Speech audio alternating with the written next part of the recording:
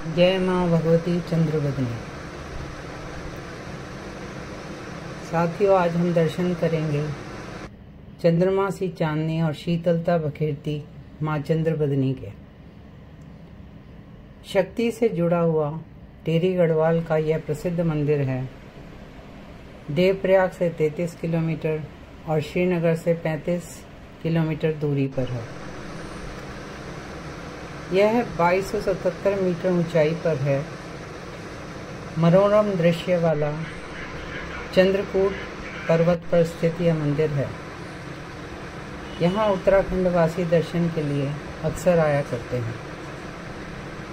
माता ऊँची हरी भरी चोटी पर बैठी भक्तों पर उपकार कर रही हैं। यहाँ यह प्रचलित है कि माँ सती का धड़ गिरा। मंदिर में श्री यंत्र की पूजा होती है, जिस पर चांदी का बड़ा छत्र सुशोभित है।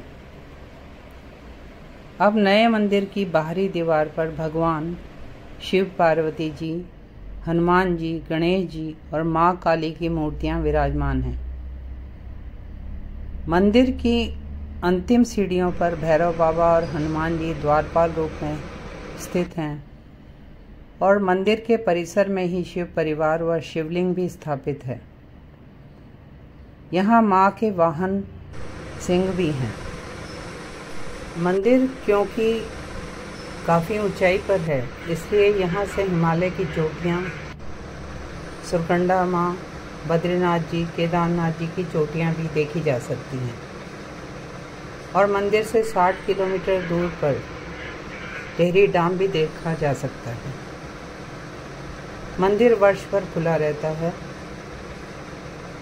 और नवरात्रों में और अप्रैल के महीने यहाँ मेला लगता है। श्रद्धालु यहाँ आकर माँ चंद्रबदनी की पूजा अर्चना करते हैं, जागर गाते हैं, नाचते हैं। मनोकामना पूरी होती है तो ढोल दमोल बजवा कर माँ का धन्यवाद करते हैं और अपनी श्रद्धा व्यक्त करते हैं। यह क्षेत्र काफ़ी ठंडा है और रास्ते में भी आप बर्फ़ देख सकते हैं। मंदिर के रास्ते इतने सुरम्य हैं और मंदिर में पहुंचकर एक अनोखी शांति का एहसास होता है। वीडियो का अंत। देवी भागवत की इन पंक्तियों से करती हूँ। जहाँ माँ मनुष्यों को सदा ज्ञानशील, संयत चित्त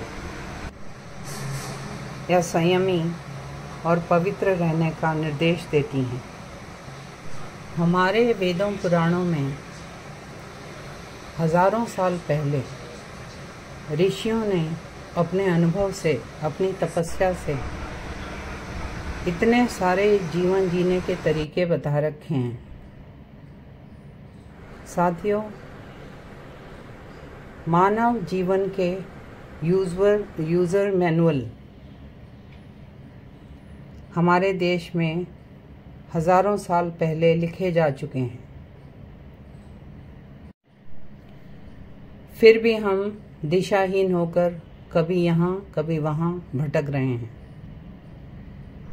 मेरी आशा है और कामना है कि हम अपनी संस्कृति को जानें और थोड़ा बहुत उस पर चलने की कोशिश करें तो सुखी रह पाएँगे। यदि आपको मेरे विचार पसंद आ रहे हैं तो please like share and subscribe this channel thanks for watching this video